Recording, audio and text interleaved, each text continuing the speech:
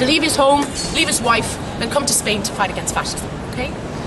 And as a foreigner, when he decides to come in autumn 1936, as a foreigner, you had to sign up through Comintern. Now, you didn't have to be communist, but internationally, Comintern were organising these international games for volunteers. And as an international volunteer, he has this interview in autumn 1936 with Comintern, and they reject him.